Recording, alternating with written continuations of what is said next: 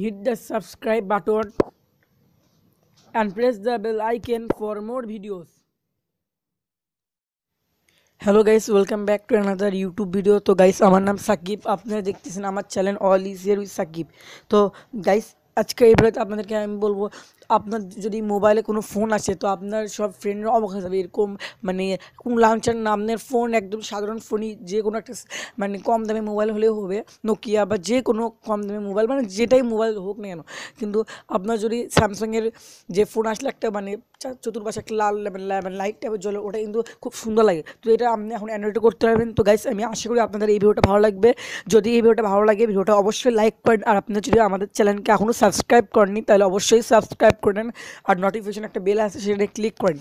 আর অবশ্যই এই ভিডিওটা শেয়ার করেন, তাহলে আপনার মতন মোবাইলে সবারও হয়ে যাবে। তো সবাই মানে আপনার ফোনে লিখে দিচ্ছি, আপনার ফোন যখন আসবে তখন সবাই অবাক হয়ে যাবে। তো এরকম একটা অ্যাপ দিচ্ছে আমাদের সামনে। তো গাইছে আমি আশা করি আপনার এই ভিডিওটা ভালো লাগবে। চলো ভিডিওটা শুরু করা যাক। তো আপনি প্লে স্টোরে যে সার্চ দেবেন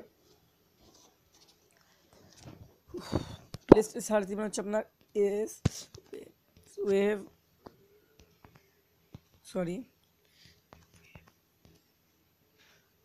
web S seven caller notification তো আপনি এখন এই পিকচারগুলো দেখতে পার, দেখে বুঝতে পারতেছেন কেমন হবে। তো চলেন আমি এখন শেখাই দিই আপনি কীভাবে এটা অন করতে হবে। তো আপনি এখানে সাধারণত অ্যাপটা ডাউনলোড করবেন ডাউনলোড করার পর এই অ্যাপটা অন করবেন। একটু ওয়েট করতে হবে। তো অন করার পর আপনার সামনে এরকম একটা ইন্টারফেস হবে। তো আপনি এখানে কন্টিনিউ এখানে দিবেন না। তো এখানে আপনার অপশন চলে আসছে। তো আপনি অন দিলে অন অপশনে অন হয়ে যাবে। তো যখন আসবে, তখন ওটা অটোমেটিকলি শুরু হয়ে যাবে। তো আমি দেখাই দিই কালারগুলো কীভাবে সেট করতে হয়। কালার এখানে অপশন আছে। কালার অপশনে ক্লিক করলাম ব্ল্যাক যে কালার রাখতে হয় আমি রেড দিলাম।